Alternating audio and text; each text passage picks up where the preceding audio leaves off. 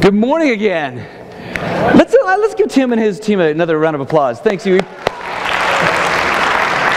We praise God for having, having him and his team here today. It's wonderful. I also want to remind those of you who, if you didn't get a chance to, if you could pick up those friendship pads and just go ahead and pass them down the row. We certainly want to know that you're here with us this morning. As you can see, um, we have a, we're in the we're starting a new sermon series today uh, called "Proving Jesus: Why Following Christ Makes Sense." And I love the, that video intro we just saw. There, I thought that was fun. Uh, this series actually, in, in some ways, the series actually puts Jesus on trial.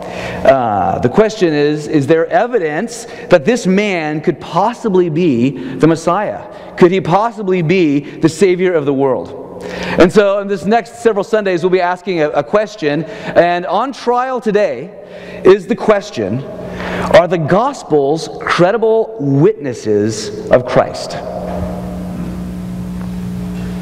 So this morning our text comes from 2 Timothy. Uh, 2 Timothy, this is the, the second letter written by Paul to whom?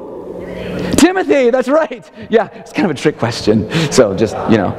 Anyway, so uh, Paul wrote this to Timothy. Paul at the time was uh, later in his career. As a matter of fact, he was in prison at this time. He'd been in prison several times. This is near the end of his life. He's uh, writing from prison to Timothy. And Timothy uh, is a young man in charge of the church at Ephesus. So really, this is kind of a, a mentor's letter to, uh, to Timothy. And so if you read throughout the book, you'll see this wonderful advice that Paul gives this young leader, uh, fledgling leader in the church in Ephesus. So we're going to take a look at this passage today. Uh, this is going to come from Timothy, the third chapter. Uh, but before we do, please pray with me that God would illuminate his word into our lives. Let's pray. Gracious God, we thank you for the word we're about to receive right now. We thank you for uh, what you have for us as we kind of eavesdrop uh, on this conversation between Paul and Timothy. We know, Lord, that this is a conversation actually for us today. And so, as we uh, take a peek into this, uh, into this word that we know is from you, God, we pray that you would do your work by the Holy Spirit, uh, enlivening our lives through your word. And we know that you're going to do this because we pray this in the name of Jesus Christ. Amen. Okay, this is 2 Timothy 3, verses 10 through 17. Let's listen to God's word for us. Paul says, Now you have observed my teaching, my conduct, my aim in life, my faith, my patience, my love, my steadfastness, my persecutions and suffering, the things that happened to me in Antioch, Iconium, and Lystra. what persecutions I endured! Yet the Lord rescued me from all of them. Indeed, all who want to live a godly life in Christ Jesus will be persecuted. But wicked people and impostors will go from bad to worse, deceiving others and being deceived. But as for you, continue in what you have learned and firmly believed, knowing from whom you learned it, and how from childhood you have known the sacred writings that are able to instruct you for salvation through faith in Christ Jesus. All scripture is inspired by God and is useful for teaching, for reproof, for correction, and for training in righteousness, so that everyone who belongs to God may be proficient, equipped for every good work. Friends, this is the word of the Lord. Thanks be to God. this past week I learned about Uncle Oscar. Uncle Oscar was an elderly gentleman who uh, had never flown on a plane before. That is not until recently. See, Uncle Oscar wanted to fly to his grandson's graduation, and he was so worried about flying that he was talking and debating with his friends about whether or not he should even go. Could he trust flying on this plane at all? And he talked and debated with his friends, and finally he forced himself to get on that plane, and he went on this trip to see his, his grandson's graduation. And when he returned back, all of his friends wanted to know how the flight went, how he fared on this flight. And uh, he, so Uncle Oscar told his friends, he said, Well, it wasn't as bad as I thought. But I'll tell you this I never did put all my weight down. you see, we often uh, struggle with scripture like that. Like Uncle Oscar. how he treats planes. We, we may use Scripture, but we never put all our weight down on it. Paul tells Timothy in his mentoring letter here to put his weight on Scripture because it is theopneustos. Theopneustos. That's a Greek word. Say that with me. Theopneustos. Now, theopneustos uh, literally is, uh, it, it's, it, well, it's translated for us as inspired by God. But the word theopneustos literally is theo, meaning God, and eustos, meaning breath or spirit. God breathed is what that word really is. As a matter of fact, some Bibles, maybe your Bible has it translated as God, all scripture is God breathed. It's inspired. And inspire literally means, the word inspire literally means to breathe into someone, to inspire, to fill them with spirit or breath. All scripture is filled with the breath spirit of God, is inspired by God. So Paul encourages Timothy to put his full weight down on Scripture because it breathes Jesus Christ. And the clearest depiction that we have of Christ is in those four biographies that we have. Maybe you've read one of them, maybe all of those four biographies. We call them the Gospels. They are, and you can name them with me Matthew, Mark, Luke, and John. That's right. Those are Jesus' biographies, okay, in Scripture. It's easy to say now, it's easy to say that they're God breathed, but are they accurate?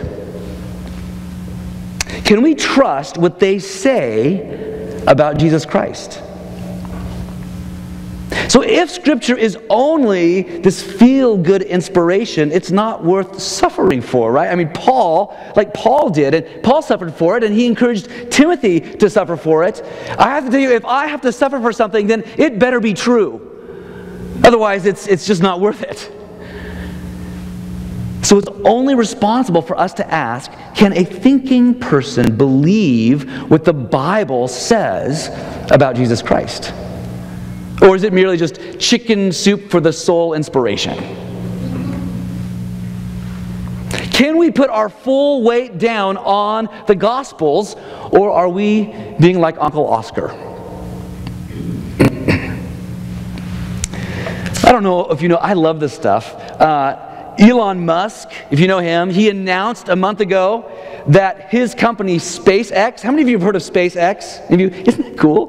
So, SpaceX, they plan to fly two private citizens around the moon in its uh, Dragon spacecraft this, uh, in, in, in, this next year. As a matter of fact, I have a picture for you to see it. There's a picture. That's the picture of the Dragon spacecraft right there with Elon Musk standing in front of it. I wish that was me standing in front of it, but. You see, SpaceX will publicly reveal who these private citizens are after they pass their initial health and fitness tests. But these two citizens, they have already paid large deposits of money for their spot on this week long flight around the moon. The Dragon, I've learned, is a fully automated spacecraft. And so these two individuals will be the only two people on board this spacecraft. And uh, Elon Musk says that he hopes that this will get people excited about going actually out into deep space. Isn't this amazing? Would you, okay, raise your hand if you would want to do this, this week long trip around the moon. Oh, yeah, good, okay. Yes, okay, that's awesome. I have to say, I would love that. In theory. I have to say, I don't know about you, but if I went on the Dragon spacecraft around the moon, I would need absolute and complete trust in the engineers who built that ship, who programmed it before putting my full weight down on that spacecraft. Trusting the Dragon is a life and death matter. How stinking cool! You see, friends, trusting the Gospels like that is a life and death risk of eternal magnitude. even more than trusting the Dragon spacecraft. It's far more than that. You see, Christians actually stake their lives on the reliability of the Gospels to know Jesus Christ. If we think searching the Scriptures shows us the Savior, the stakes are too high to not test them out. Can we put our full weight down on the Gospels, or are we like Uncle Oscar? So, as an exercise this morning, let's just for the moment, just for the moment, let's set aside our faith. And let's analyze the Gospels as we would any ancient document. Okay, now uh, there are five internal and four external criteria for verifying text reliability. Now, hang with me. I'm going to make nine points here, and they're going to go really fast. So, uh, you this morning will be my outline, all right? Our right hand is the internal criterion, and our left hand will be our external criterion, okay? This will be fast. Ready? Here we go. There are five internal criteria analyzing elements within the document for reliability. So, raise number one on your right hand. Come on, come on. Good, thank you. Okay, great. The first internal criterion is the author's credibility on the subject written. Okay? So John explicitly states that he was an eyewitness. Luke states that he is recording direct eyewitness testimony. Now, neither Matthew nor Mark say whether or not they are eyewitnesses, and yet they write from unique eyewitness perspectives. So the, the gospel authors appear to be credible. Okay, two fingers on your right hand. See, okay, this is the second. The second internal criterion is the presence of specific and irrelevant material. All right? The Gospels are filled with irrelevant detail that only accompanies eyewitness accounts. In the resurrection story, for example, John includes irrelevant factors like the time of day, like who reached the tomb first, and the irrelevant, and I would say even, even negative, lack of faith of the characters in the story. And there are many other beside the point elements. So these rambling and specific and pointless details add nothing to the storyline except that it is simply what happened. Fabricated accounts don't do this. Okay, raise three fingers on your right hand. Good. The third internal criteria is the presence of self sabotaging material. Okay, when persuading an audience, you, you don't want to include contrary evidence. Yet the gospel contains self damaging content. You see, the disciples, if you've read them, you know the disciples are depicted as clueless. Also, in that time, women were not considered credible witnesses, and yet they are the primary witnesses to the resurrection. Details about Jesus' life are included that, that threaten his perception by people as divine. For example, I mean, there's many examples, but for example, he cried out on the cross, My God, why have you forsaken me? Friends, you don't include contrary and even embarrassing material unless, of course, it actually happened. okay, now raise uh, four on your right hand. The fourth internal criterion is the consistency between the different texts. You see, the Gospels were written by four different authors at different times, and while the Gospels do differ in some details, the character and the intent and the description of Jesus is absolutely consistent. If these were fabricated stories, there would be wildly different versions of who Jesus is and was. Okay, raise five fingers on your right hand. Here we go. The final internal criterion is the presence of legendary exaggeration. Are Jesus' miracles legends? You see, legendary texts of that time had a style and a language that the Gospels do not. These texts do not have that mythical attributes required to be legend at the time. And the writers at that time could not have created what we call now our modern novelistic narratives 2,000 years before that style was even created. You see, no such text existed back then like that. So the Gospels are not legend. And the Gospels there stand up to those five internal criterion. Okay, now, now there are four external criteria. Now, you ready? Okay, here we go. These analyze the elements outside of the document for reliability. Okay, hold up number one on your left hand. Okay, the first external criterion is the author's motive for fabricating falsehoods. Friends, the gospel writers had, uh, they gained nothing from creating a fiction. As a matter of fact, they actually suffered for it. They wrote these texts because they actually experienced Jesus' miracles and resurrection. They knew his life, they heard his teachings. An author would not create a personally life threatening story unless it were true. Okay, two fingers, oops, on your left hand. There you go. The second external criterion would be outside sources confirming the material. Okay, so the Gospels are validated by many outside sources at that time, such as, you can write these down if you want to look them up, such as Tacitus, Suetonius, maybe you've heard of Josephus, and Thallus. These were all these first, mid first, and even some second century writings, as well as there are other ancient writings opposing even Christianity. And surprisingly, the Gospels are confirmed by their unrelated, contemporary, outside sources. Okay, hold up three fingers in your left hand. You still with me? Yeah, okay, good, good. Not too many yawns? Okay. Three fingers on your left hand. The third is the archaeological corroboration. Well, when archaeologists discover artifacts contradicting Scripture, which they've seen, frankly, time and time again, further discovery then reverses some of these findings. For example, you know the story of Luke, the Gospel of Luke. It says that Jesus' birth occurred while Quirinius was governor right? Says Quirinius was governor of Syria. But we found from other sources that Quirinius started governing around 6 AD. That would have been after Jesus' birth. However, not too long ago, we've since discovered that 6 AD was Quirinius' second reign. And he likely did reign during Jesus' birth. You see, there are plenty of archaeological finds that actually substantiate the Gospels, and none appear to conclusively refute them.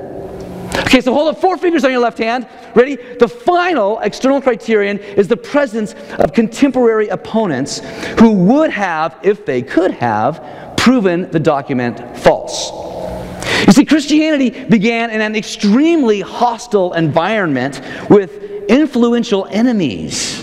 They had enemies in the government and religion and politics, and countless opponents at the time longed to disprove the gospel accounts, but they couldn't. Innumerable leaders wanted to, wanted to prove that Jesus didn't do miracles or rise from the dead, but they couldn't. So, no matter how desperately they wanted to dismantle the Gospels, they only ended up affirming them. Okay, so the Gospels stand up to the five internal and four external criterion if we were to analyze them as a document. Nice work. Thank you. So now, let me hear you on that, on that grounds. Can a thinking person believe in the Bible? Yes. yes. Do the Gospels verify Jesus? Yes. Are they credible witnesses? Yes. yes. Friends, searching the Scriptures shows us the Savior. Say that with me. Searching the Scriptures shows us the Savior. But Will we put our full weight down on the Gospels? Or are we like Uncle Oscar?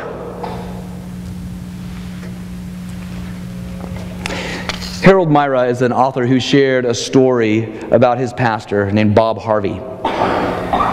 Early in Pastor Bob's ministry, actually right out of seminary, uh, a close friend of his died. And in an effort to comfort the widow, also a close friend of his, Bob shared all the seminary textbook explanations of how and why God might have let this happen. He wanted to help her rationally understand God's purposes in the midst of her grief.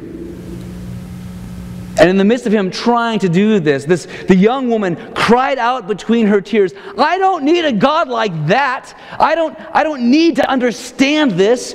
What I need is a God who is bigger than my mind. I want a God I can trust with my life.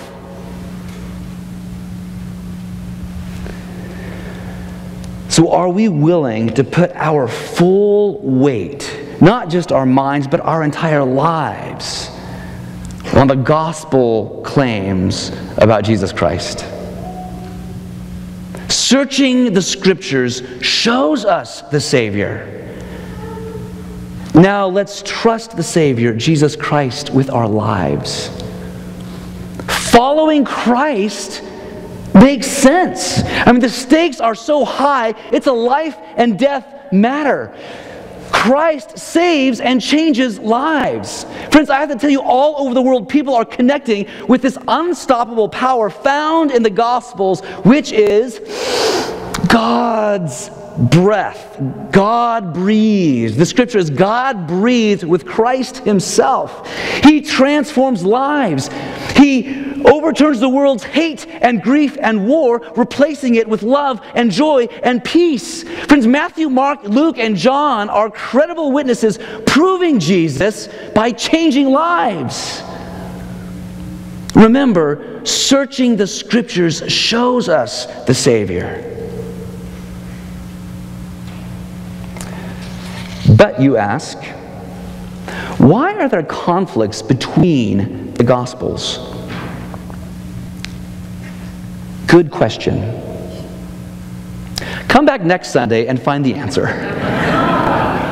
Pastor Dan is going to be taking on that topic. And so, as I invite the worship team forward, I, I want you to remember this trial today asked Are the Gospels credible witnesses of Jesus Christ? The answer is yes. Searching the scriptures shows us the Savior. And so remember, the best way for proving Jesus is experiencing Him yourself. Because following Christ just makes sense. When you do follow Him, when you do, you will find you are proving Jesus with your life. Amen.